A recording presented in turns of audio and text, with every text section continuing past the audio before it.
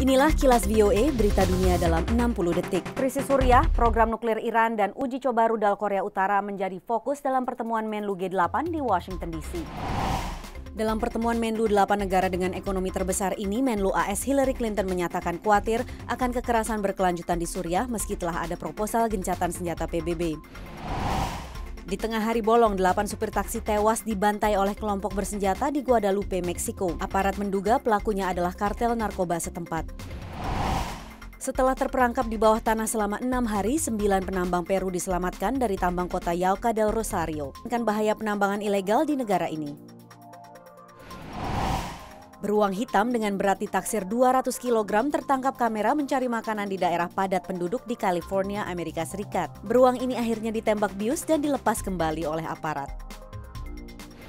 Saya Patsy Widakuswara untuk Kilas VOA.